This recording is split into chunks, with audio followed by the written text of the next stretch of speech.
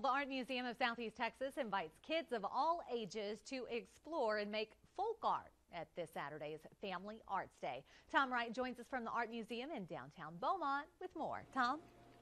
Well, by now you've probably run out of family activities to do. Summer kind of drags on a little bit, but that's okay because we're going to take care of that. We got something for you this Saturday, Family Arts Day here at the Art Museum of Southeast Texas with us. Monique, how you doing? I'm great. How are you? Okay, you guys did this last in May, last time in May. That was the spring. This is the summer one. Do it every quarter now.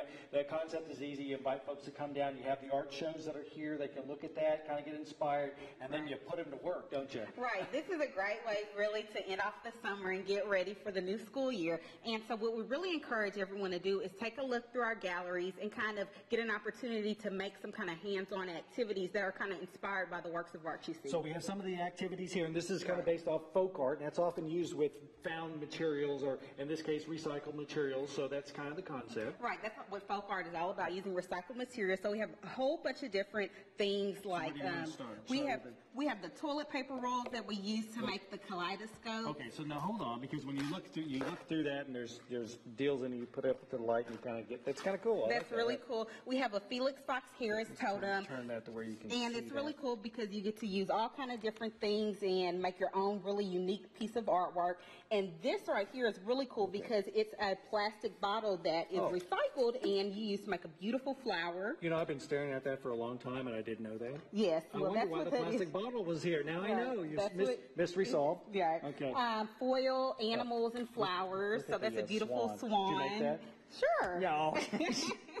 no, you didn't. I told you to say that, but that's okay. Good, good, good one. Thank you. Yeah. And then we have our pop hand prints that we use, and you make. You, um, you put the paint on you here. You put the paint on there, you, you flip it over on your paper, and you have a really cool, unique work of art. Okay, thank goodness. Something that will make a mess. Right. I just want to make sure there was something that's going to. It's important. You're not an artist unless you make a mess. Well, it's true. It's true. And it, one of the uh, uh, things about it, it's indoors, right? This right. is all inside. It's all inside. It's hot. Because it's going to be very hot. Yes. So and Gator Country will be here. They're going to bring some uh, alligators, I assume, and snakes. We're really excited about Gator Country at 11:30 and 12:30. They'll do a live demonstration with all the gators and creepy crawly creatures. Okay, so you, you, you can't beat the deal because it's absolutely free. It starts at 10, right? 10 to 2. 10 a.m. to 2 p.m. And if you right. come earlier, there's usually fewer people. Right. Has that secret got out? That's no longer true? well, sometimes. okay. Plus, it's not as hot either. But you'll be inside here at the Art Museum downtown. It's going to be a great opportunity to get to do something, right? Because summer gets, yeah, it gets boring, you know? Right. And it's all free, so you, okay. you can't beat that. All right. Thanks a lot. We appreciate that again. Uh, come on down this Saturday. Should be a great day.